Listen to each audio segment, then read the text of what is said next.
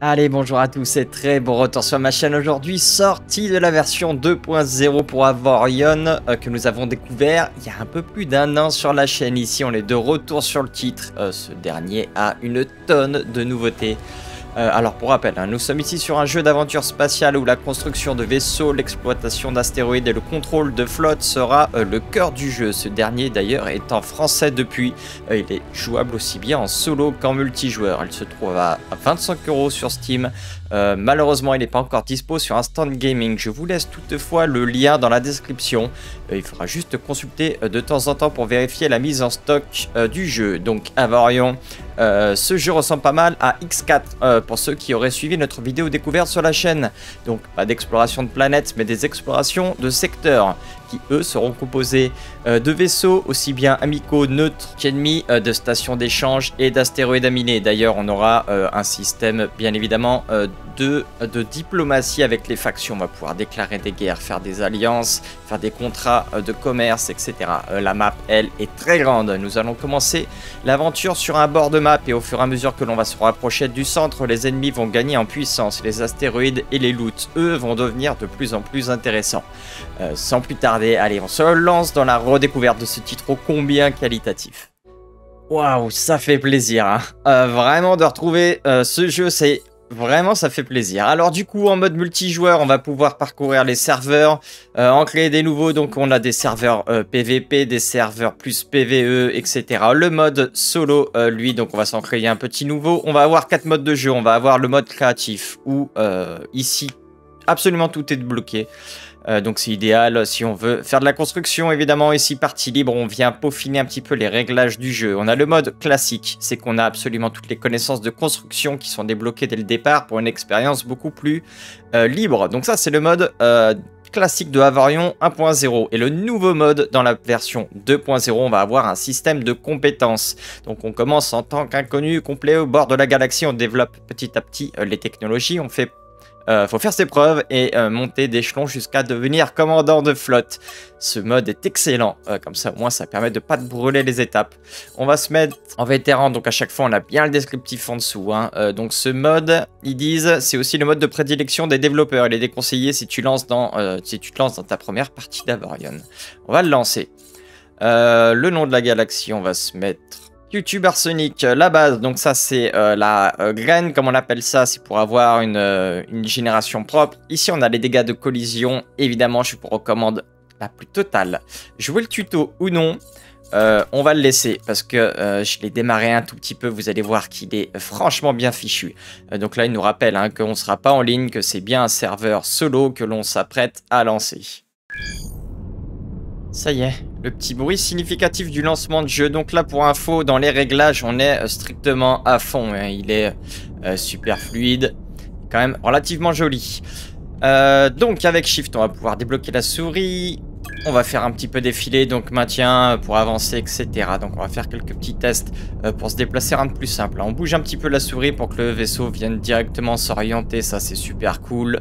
on va avoir, ah oui, pour freiner, ça va être la touche S, etc va débloquer un peu. La vitesse actuelle est affichée en haut en euh, mètres secondes. Donc là, on est à 332 avec le bouton... Euh, non, je n'ai pas encore accès. La couleur bleue indique que tu déplaces dans la bonne direction dans laquelle le vaisseau est pointé. Euh, voilà, avec espace, on va pouvoir euh, activer le mode boost. Donc là, on est à 1300 mètres secondes. On va bien sûr faire attention aux astéroïdes. Euh, pour freiner, c'est même bien de faire demi-tour. Foncer requiert un niveau croissant d'énergie. Si tu consommes trop d'énergie en fonçant, les autres systèmes de ton vaisseau n'en recevront plus assez et peuvent tomber en panne. Ok, la réserve d'énergie va être ici. Pour qu'un vaisseau lancé à pleine vitesse s'arrête complètement, le mieux est de faire demi-tour. C'est surtout important pour les gros vaisseaux qui vont avoir une énorme inertie naturellement. On peut monter, descendre. Euh, ici, on peut faire nos petits roulis. Ok, pas trop non plus. Après, ça rend malade d'abord. Un petit peu, s'il a l'air de kiffer. Voilà. Euh, maintenant que tu sais piloter ton vaisseau, c'est l'heure de récupérer des ressources. Les ressources sont utilisées pour la construction des vaisseaux et peuvent être vendues dans les dépôts. Ok. Euh, je sais plus, je sais qu'il y avait une touche pour venir faire son réglage de vaisseau. Donc moi, euh, je vais aller dans les options. C'est dans les options de jeu tout en bas. On peut venir ici paramétrer la, euh, la caméra par défaut. Donc moi, ce que j'aime bien, c'est la mettre plutôt par là. Ça laisse un gros champ visuel. Et ici, c'est la profondeur de, de, réglage par défaut. Donc étant donné qu'on peut zoomer, ça, ça va. Voilà, mais je préfère quand même avoir mon petit vaisseau en bas. Donc on peut zoomer à tel point qu'on peut presque jouer en vue FPS, comme on peut euh, vraiment s'éloigner et jouer de très très loin. On peut euh, bien évidemment, euh, je crois que c'est contrôle, voilà, on peut venir tourner un petit peu autour pour admirer sa bête. Un astéroïde a été mis en surbrillance, donc on va tourner la caméra en direction. Ah oui, il est là. Il est juste là. Donc avec le clic molette, on va venir le sélectionner. On va avoir la distance voler vers l'astéroïde, miner les ressources à l'aide de tes lasers de minage qui sont déjà installés naturellement. Avec clic gauche. Lorsque la cible est à portée, les lasers, enfin les petits, euh, petites sphères vont devenir vertes. Ils sont bleus à l'heure actuelle. On va avancer encore un petit peu. Ça y est, on y est.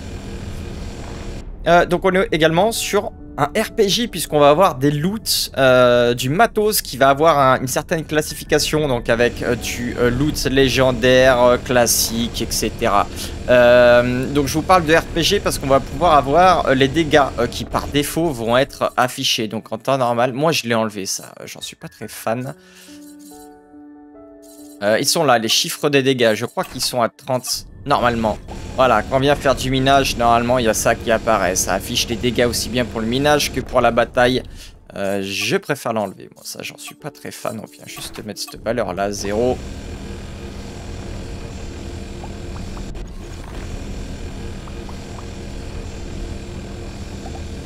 Ok, donc en bas, euh, enfin sur la droite, on va avoir les quantités que l'on est en train euh, de collecter et la quantité totale. Donc là, j'ai récupéré 339 tout euh, fraîchement de fer, on en a 1200 en tout. Voilà. il faut miner 1500 unités de fer. Les astéroïdes couverts de points brillants contiennent de nombreuses ressources. Les astéroïdes sans points n'en ont pas du tout. Donc ça, par exemple, si je viens de miner, je crois qu'il y en a quand même un tout petit peu qui se loot. vraiment, c'est très minime. Hein. Donc on va plutôt s'intéresser à celui-là. Il m'a l'air Bien. Bien dodu. Et on va taper un peu dedans. Allez, on va quand même freiner. On se mettre des dégâts. Voilà, une belle quantité qui, a, euh, qui est arrivée. Une nouvelle mission. On va juste récupérer ce dernier petit bloc. Parce qu'on aime bien. On est gourmand. Euh, alors du coup, là, on se situe dans un secteur. Hein. Je vous présenterai la map un peu plus tard. Donc un secteur, voilà, hein, c'est qu'on va avoir euh, beaucoup... Alors je crois qu'il y a une vue stratégique. Ah, alors ça, c'est pas mal déjà. On peut virer toute l'interface pour pouvoir prendre euh, de jolies miniatures, ça c'est top. Je crois qu'il y avait une vue stratégique, donc... Ah, je sais plus où elle est. Euh, donc voilà, en gros, hein, c'est qu'on va avoir un arrière-plan avec du brouillard. On va avoir certaines stations, des vaisseaux qui défilent. On va avoir, euh, ou pas d'ailleurs, des astéroïdes à miner, etc.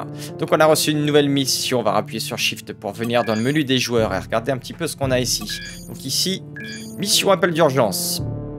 Pour suivre la mission, ça va être ici pour avoir les instructions directement sur le côté. Ça nous permet de fermer cette fenêtre. Donc on a reçu un appel d'urgence. Il va falloir aider, euh, pardon, aider le vaisseau en détresse. Il faut ajouter des tourelles armées à son vaisseau. Ok, on va ouvrir le menu de construction et on va regarder un peu ça ensemble. Donc avec le clic droit, on peut venir se déplacer. On peut évidemment zoomer. On a euh, l'indication euh, du sens du vaisseau. Ça, c'est très bon à prendre. Sélectionne les lasers de minage. Donc on va zoomer un petit peu, elles sont là. Euh, en les sélectionnant comme ça, ou même pas en laissant la souris dessus. On a directement euh, les points tech, si c'est d'ailleurs de l'ordinaire, du courant, etc. C'est ce que je vous disais. Et surtout, bah, la désignation. Donc ça, c'est des toiles de minage. Il va falloir euh, les enlever.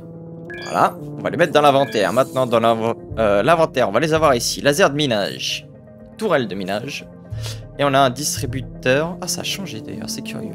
Donc là, il faut ajouter trois tourelles euh, de canon mitrailleur à ton équipement en les plaçant euh, sur ton euh, vaisseau. Donc on va prendre ça, distributeur. Transforme la pierre en ressource. Ouais, c'est plutôt écrit en bas. Hein. Dégâts sur la pierre, aucun dégât au bouclier. Transforme la pierre en ressource également. Et ça, par contre, c'est bien des dégâts.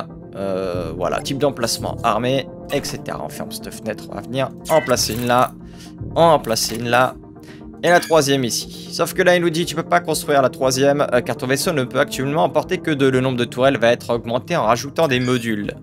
Ouvre euh, le menu vaisseau. Ça d'ailleurs, ça a encore changé. Euh, et c'est agréable. Hein. Sélectionne le module et fais un clic droit pour l'installer. Ceci augmentera la capacité de tourelles armées. Ok, Ok, ici je crois qu'on peut mettre jusqu'à 4 modules. Voilà, ça c'est le plus grand euh, des chiffres sur notre vaisseau actuel. Donc ici on a un module de contrôle de tourelle. On va avoir emplacement polyvalent de tourelle, donc on peut en mettre aussi bien de minage que de tourelle armée. Et on va avoir des bonus également quand c'est une installation permanente. Ok, donc en gros, si je l'installe comme ça, je vais avoir un emplacement polyvalent plus 1. Si je l'installe de façon permanente, je vais avoir encore un plus 1. Euh, je vais avoir également un emplacement de tourelle automatique. Bref, on fait clic droit. On va faire juste installer pour le besoin du tuto. Ok, donc là maintenant, je vais pouvoir en placer à nouveau une. Eh bah ici, pourquoi pas. Comme ça, on a bien notre petit troisième. Ton vaisseau est désarmé, prêt à répondre à l'appel d'urgence. Ok, on est pas mal. On est presque un petit peu trop bas. Ouvre la carte galaxie.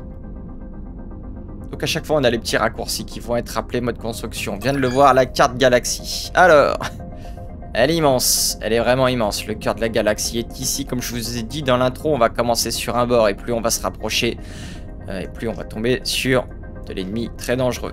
Donc ici, ça va être des gros secteurs qui vont être redécomposés encore en petites cases. Et nous, on est juste sur cette petite case-là. La carte de la galaxie montre tous les secteurs pouvant être visités. Le contour bleu indique les distances à laquelle on peut parcourir avec le saut hyper-espace. Ok. L'appel venait de secteur là. Ok, donc on va le sélectionner avec le clic gauche. L'appel d'urgence. Donc ça, c'est pour ça qu'on a le petit euh, point d'exclamation. Entrer les coordonnées dans le système de navigation. On va cliquer dessus. On va pouvoir fermer la carte.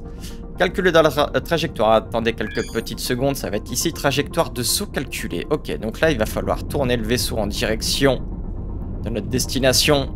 Fonce dans cette direction pour charger les moteurs hyperespace. Avec espace, on y va à fond.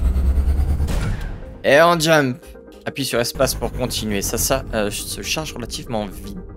Un vaisseau est attaqué. Aide-le en détruisant les pirates au loin des indicateurs te montrent tes relations avec les gens. Pour obtenir plus d'infos, sélectionne ah, le vaisseau avec la molette. Donc on l'a là, c'est un bandit. Il est en train de dérouiller d'ailleurs.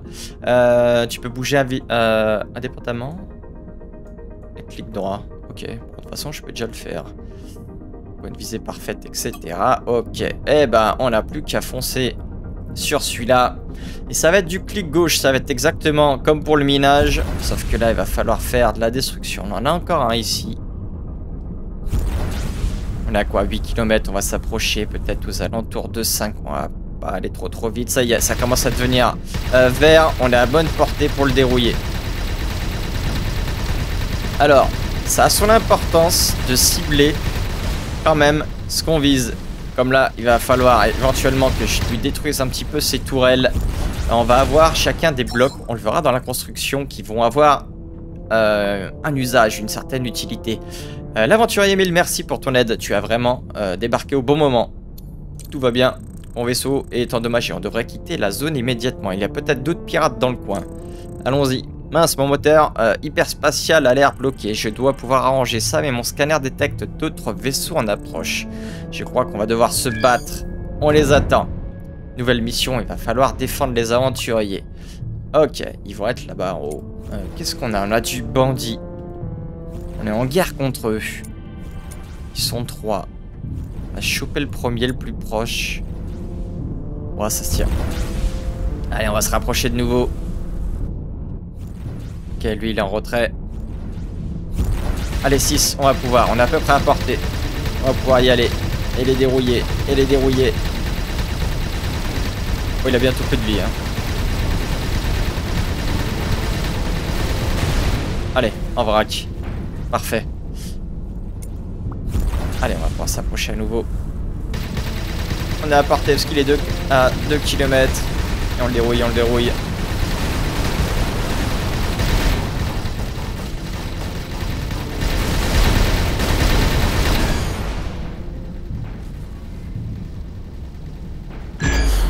Ne t'en fais pas, être détruit fait partie de la partie. Ok, est-ce qu'on a mangé une torpille Ça fait partie du tuto, je pense qu'il y a dû avoir un tout petit décalage. Lors de ma première partie, je m'étais fait exploser, après il y avait la cinématique.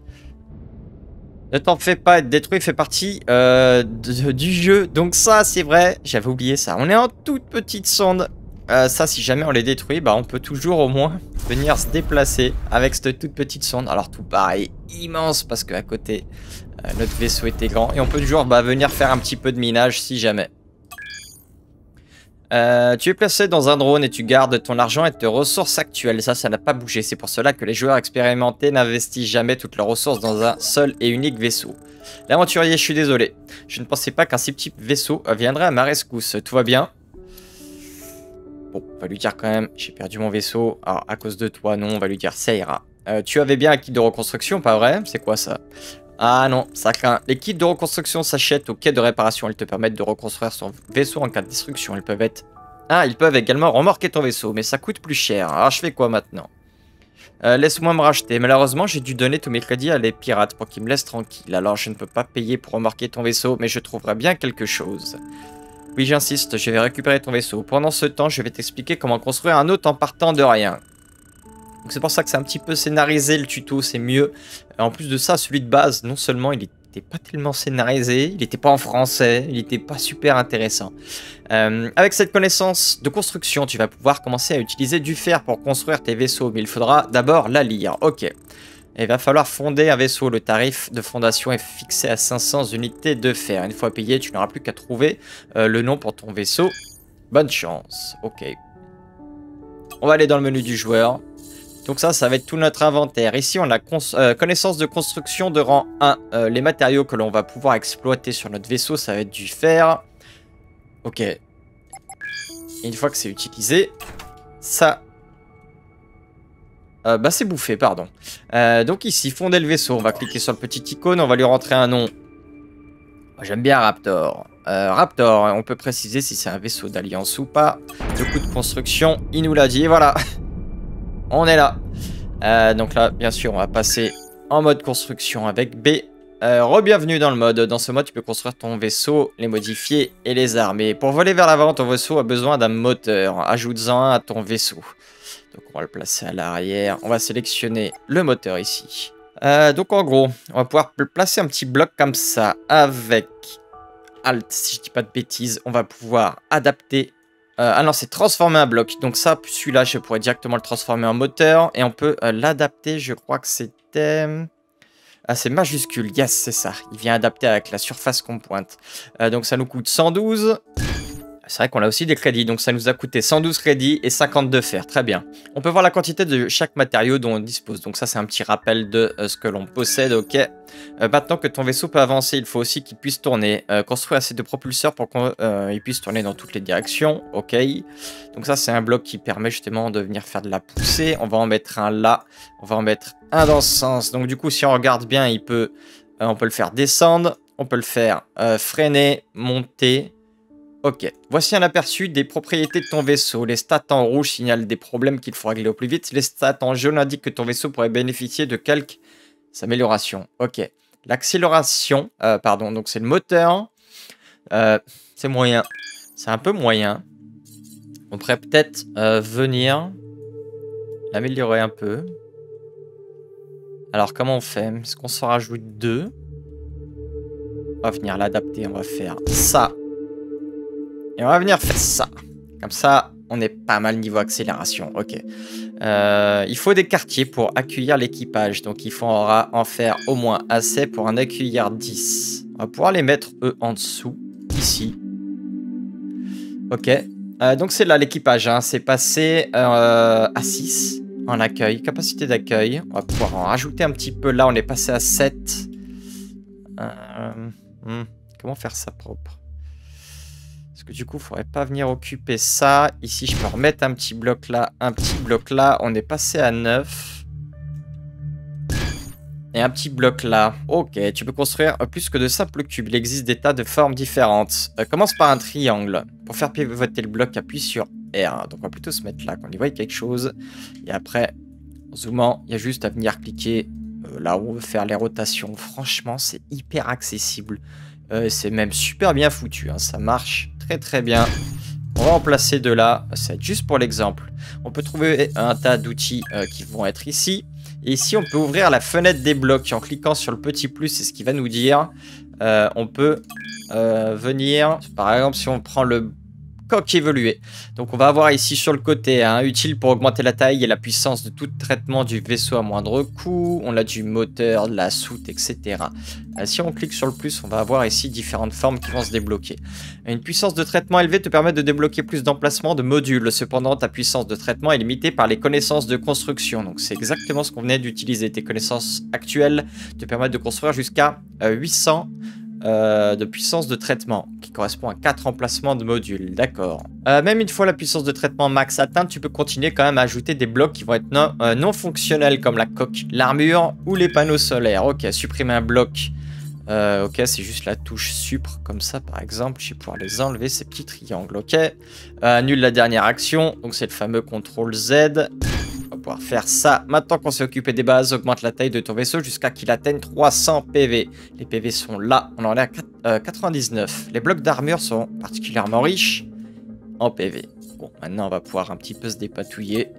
On va pouvoir se placer ça comme ça, pourquoi pas? Euh, ici, c'est le vert, on va pouvoir... Donc là, on est quoi? Là, c'est sur le bas, il va falloir mettre ça dans cette... Ok. Ok, donc là, le quartier d'équipage sont pas mal, ils sont assez protégés. Formidable, le vaisseau est prêt. Donc là, on est passé à, 318 PV. il ressemble à rien du tout. Euh, il ressemble vraiment à rien. Allez, il est vilain, hein ah, Il est vraiment... Il est vraiment affreux. Euh, c'est pas grave, hein. Allez, continuez. Euh, la fenêtre de sauvegarde, donc ici on va pouvoir... Ouais, ça c'était déjà le Raptor, le premier modèle que j'avais fait. Donc là ici on va pouvoir venir faire sauvegarder s'il faut. Ouais, J'en avais fait un qui avait déjà une tronche un peu petit peu mieux. Elle affiche tous les schémas. Ok, qu'on l'on peut euh, derrière venir euh, recrafter s'il faut. Donc ça, c'est bien. Ferme cette fenêtre si tu as terminé. Le vaisseau est prêt. Et ben voilà, il est là. Mon dieu, qu'il est moche. Alors, salut, tu t'es construit un nouveau vaisseau. Euh, beau travail, il est moins beau que mon ancien vaisseau. Je suis vraiment désolé, mais je vais récupérer ton vaisseau, je te le promets. tu vas devoir recruter un équipage. La plupart des stations ont des membres d'équipage à dispo qui attendent d'être engagés sur un vaisseau. Tu devrais y jeter un œil. Il va falloir euh, t'arrimer à la station. Tu peux le faire manuellement ou voler jusqu'à l'une de leurs pistes d'atterrissage et profiter euh, de leur traction, euh, de leur rayon de traction, pardon.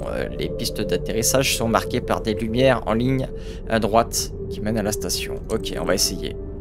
Encore une chose, tu devrais essayer de trouver des astéroïdes de titane. Ils ont une forme différente et des taches blanches.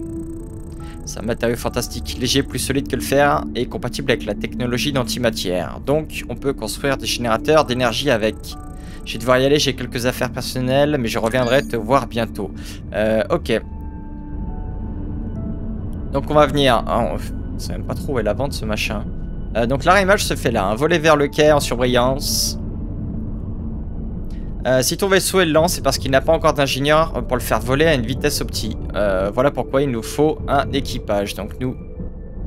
Ah ok, il faut maintenir F, le rayon de traction et on appuie ici. Bienvenue, vous êtes en communication, donc ça on l'a eu. Échange de ressources. Ah bah non. Ah, du coup, non. C'est pas ce qui m'intéressait beaucoup. Euh, panneau d'annonce, recruter de l'équipage. Recrutement euh, d'équipage basique qui peuvent être assignés à pratiquement n'importe quel poste. Ok, donc ils sont là, donc ça on va, on va venir en recruter. 10, euh, je te vais pas assez près. Euh, ferme la fenêtre pour continuer, parfait. Euh, aucune tâche n'a été attribuée à ton équipage. Tu peux faire à l'aide de dans le menu vaisseau. onglet équipage, parfait. Donc ici ils sont là, attribués automatiquement. ok, dans la rang supérieure. Donc ici par exemple. Assigne suffisamment d'ingénieurs pour subvenir aux besoins. On va faire pareil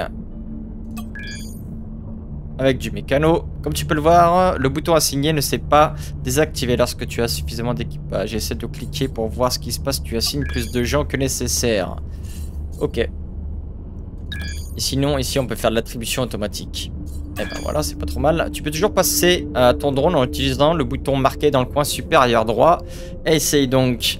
Euh, ça, c'est vrai que c'est assez marrant. Donc là, on peut se faire une sortie en drone. Et voilà.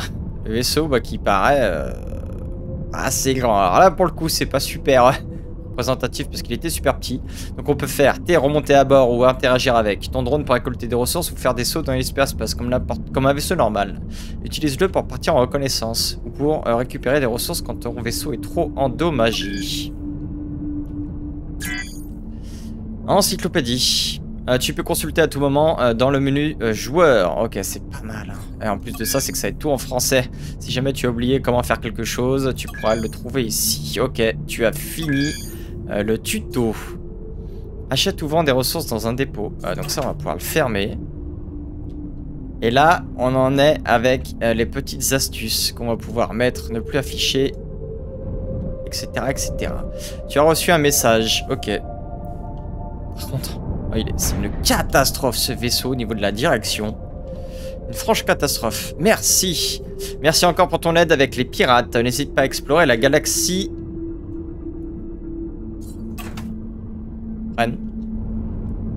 On se met dans un endroit où on peut euh, lire paisiblement. Euh, N'hésite pas à explorer la galaxie toi-même et utilise des nouvelles compétences pour améliorer ton vaisseau. Comme je te l'ai dit, à ta place, j'essaierai de trouver du titane. Essaye de visiter les secteurs, coloniser de temps en temps pour rester au courant des dernières nouvelles dans la galaxie. Je suis sûr qu'on se reverra un jour. Salutations, Oka.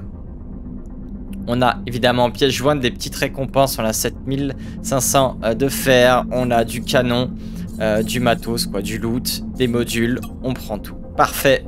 Et là, on peut revenir voir. Il y a un chantier naval dans le secteur. Des blocs supérieurs peuvent être construits. Ici, une petite indication. Ton vaisseau est trop faible comparé aux autres vaisseaux de la région. Ça, cette indication, elle est quand même super. C'est qu'avant de quitter un secteur qui est, euh, eh ben, sécure, on va avoir cette info-là pour savoir si on est prêt euh, à survivre à un combat. Tu devrais euh, l'armer davantage. Ajoute des boucliers ou l'agrandir. Ok. On va regarder un petit peu ce qu'on a d'autre. Donc là, on a le menu d'échange, les messages, on vient de le voir. Ah, le mode stratégique, c'était là. Euh, te permettre de donner des ordres à tes vaisseaux dans ton secteur. Sélectionne un ou plusieurs vaisseaux. Pilotage automatique, c'est aussi si nouveau. Euh, donc là, par exemple, on est sur la vue stratégique de ce secteur. On va avoir euh, bah ici une vue d'ensemble. On va avoir ici toutes les marchandises. donc les quais de réparation, etc. On va avoir ici l'équipage et le panneau d'annonce. Donc là, par exemple, c'est tous les ressources qu'ils rechercheraient éventuellement. Ok. Euh, donc c'est pas mal hein, pour s'y retrouver un petit peu. Qu'est-ce qu'on ah, Tu as des modules disponibles pour ton vaisseau. Ouvre l'onglet modules pour les installer. Ok, donc ça on va mettre désactivé. On va avoir la carte de la galaxie. Donc ça on venait de la voir. Ça va être ici. Euh, donc en gros on peut venir marquer un secteur, le publier sur le chat, entrer les coordonnées ma- manuellement. On peut venir faire un petit ping également. Je crois qu'on peut interagir avec, je sais plus. Oh, je sais plus. Afficher les stations. Afficher les vaisseaux hors écran. Afficher les vaisseaux en opération. Ok. Et donc là, ah oui, c'est la liste des vaisseaux qu'on va avoir ici. Donc ça, c'est bien cool. Mode de construction, on l'a vu. Le menu du vaisseau, le menu du joueur. Ok, dans le menu du joueur, on va avoir profil de base, recueil du fer, du titane.